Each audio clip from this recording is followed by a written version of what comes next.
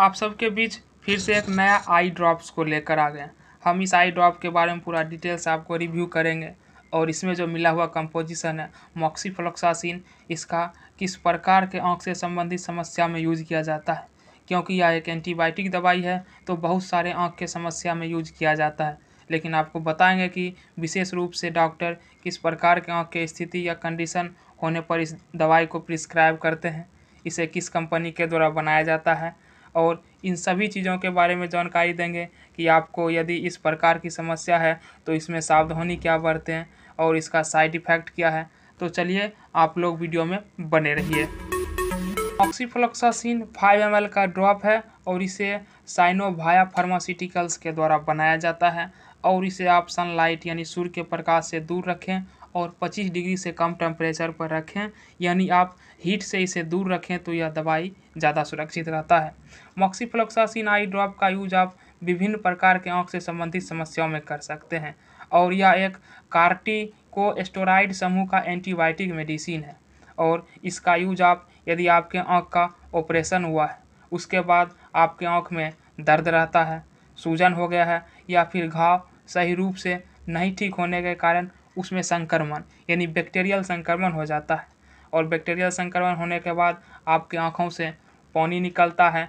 आँख में चुभन यानी गरम जैसा महसूस होता है। इसके साथ साथ आपको कई और समस्या, यानी धुंधला दिखाई देने लगता है। यानी आपका सर्जरी ठीक रूप से नहीं हुआ है, या आप कह सकते हैं कि हमारा सर्जरी सक्सेसफुल नहीं हुआ है। तो इस प्रकार के कंडीशन में आप इस दवाई का यूज़ कर सकते हैं। इसके साथ साथ यदि आपके आँख की मध्य पर सूजन हो गया है, यानी आपके आँख के मध्य भागों में सूजन हो गया है, जिसे हम यूवाइटिस या यूवीए डिज़ीज़ नाम से जानते हैं और जिसे हम एक प्रकार का सूजन कहते हैं। इसमें आपको सूजन या दर्द होने पर या दर्द जैसा महसूस होने लगे तो आप इस ड्रॉप का यूज़ कर सकते हैं। इसके अलावा यदि आपके आँख के रंगीन हिस्से, जिसे हम आयरिस कहते हैं, इसमें सूजन हो गया हो, आँख बार बार मलने की इच्छा करता है, यानी उसमें खुजली यानी ईचिंग जैसा आपको महसूस होता है और हर वक्त आपको ईचिंग जैसा महसूस होता है तो इस प्रकार के कंडीशन में भी इस मॉक्सीफ्लोक्सासिन आई ड्रॉप का यूज़ कर सकते हैं। इसके अलावा आपके आँखों में कई प्रकार के एलर्जी होते हैं। एलर्जी बहुत सारे प्रकार के होते हैं तो आपको अगर एलर्जी के कारण कोई सूजन या इन्फेक्शन हो गया है तो भी आप इस ड्रॉप का यूज़ कर सकते हैं।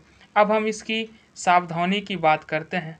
यदि आप धूप में जाते हैं तो उससे जाने से बचें, क्योंकि यह हमारे आँखों पर, अगर आपके आँख का टिश्यू कमज़ोर है तो वह थोड़ा हानि पहुँचाता है। मोबाइल का उपयोग से थोड़ा दिन दूर रहें, जब तक आप इस बीमारी से सामना कर रहे हैं, या फिर लाइट, यानी बल्ब उल्ब से भी आप थोड़ा परहेज करें तो आपको यह जल्दी ही बेनिफिट देगा। अब हम इसकी साइड इफ़ेक्ट की बात करें तो इसका साइड इफ़ेक्ट थोड़ा बहुत देखने को मिलता है कई सारे पेशेंट में तो आपके आँख के आसपास खुजली होगा।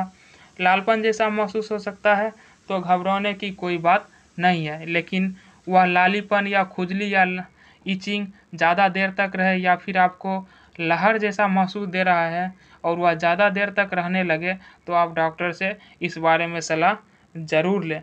और इस ड्रॉप को आप सावधानी से यूज़ करें, आँख के सिवा ये और कहीं और पर ना हो। तो आप समझ गए होंगे कि किस प्रकार के आँख की समस्या और किस प्रकार के घाव हो जाए या सर्जरी के बाद इसका यूज़ करें। तो वीडियो को देखने के लिए धन्यवाद। मिलेंगे नेक्स्ट वीडियो में। आपको किसी भी प्रकार के मेडिकल से संबंधित जानकारी लेना हो या मेडिकल कोर्स के बारे में जानकारी लेना हो या किसी भी प्रकार के बीमारी से संबंधित कोई दवाई के बारे में जानकारी लेना हो तो आप हमें कमेंट कर सकते हैं। चैनल पर पहली बार आएँ तो चैनल को सब्सक्राइब ज़रूर करें। और यह वीडियो यदि हमारे फेसबुक पेज अंजेस हेल्थ एंड मेडिसिन पर देख रहे हैं तो उसे फॉलो ज़रूर करें। जय हिंद।